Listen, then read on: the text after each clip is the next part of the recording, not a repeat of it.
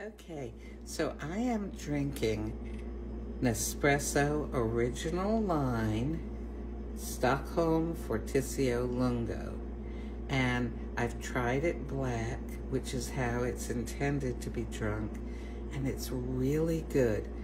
But I'm frothing up some oat milk, some no sugar plain oat milk, and I'm gonna go ahead and pour it in here on top of the coffee and see how that tastes because it has a very uh, has a bold flavor. So I'm thinking that it can stand to have that frothed milk on it. Let's see. My frother's still going. Here I'll show you a picture of what this capsule looks like. So there it is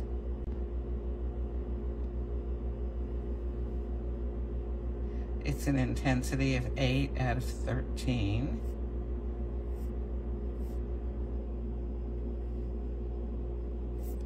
Okay.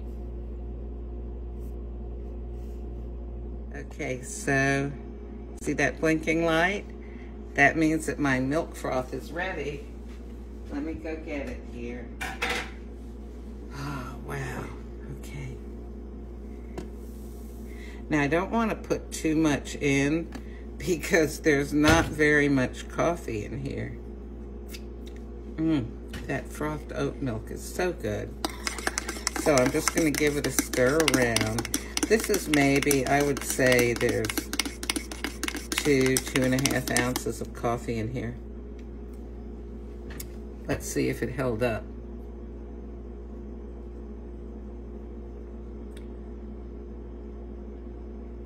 I gotta say, it's better black.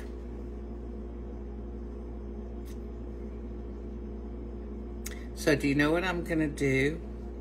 I am going to take this. Now, I only, uh, I have just one cup of caffeinated coffee a day. So, see if I can, there we go. So this is what I'm going to do. I am going to get some decaf Altissio, which is an espresso. Let's see, is this, have I got that here? Is this the Altissio? Yes, Altissio decaffeinato. Oh, time to order more. And I'm going to go ahead and brew this into the Stockholm Fortissimo Lungo. Uh, oh, gee whiz. Okay, we have the dance of the electrical connections here. There we go. Okay. And I'm going to put in a little more of the foam. I'll put the rest in after it's done. Okay, come on. Oh, I've got the machine all confused by, there we go. All right. It's got its brains all unscrambled now. Okay, so here we go.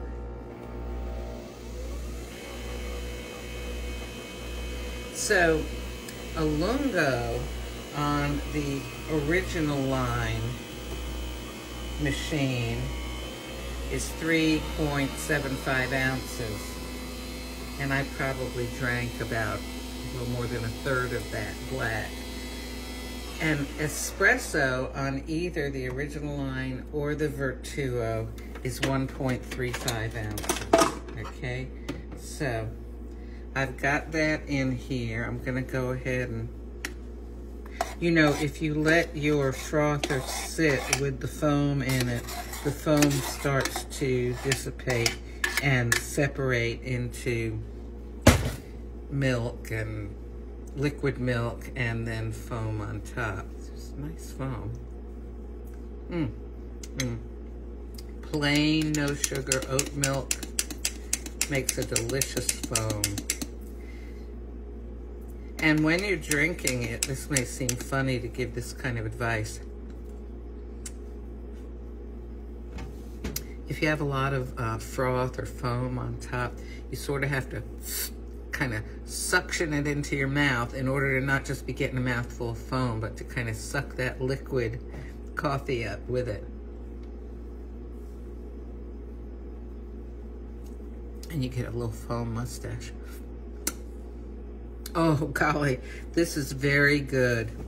Very, very good. Do you know this is so good? I would actually make this again deliberately, not just, you know, as futzing around as an experiment here, um, because I sort of ruined the Stockholm Fortissimo Lungo by putting too much milk in it because it's better black. But now adding the Altissio decaf to it with more froth milk, it's good. Oh, yes. I love playing around with these coffees. It's, it's actually difficult to ruin them, in my opinion. And also, I always recommend to people, try a coffee, not just once or twice.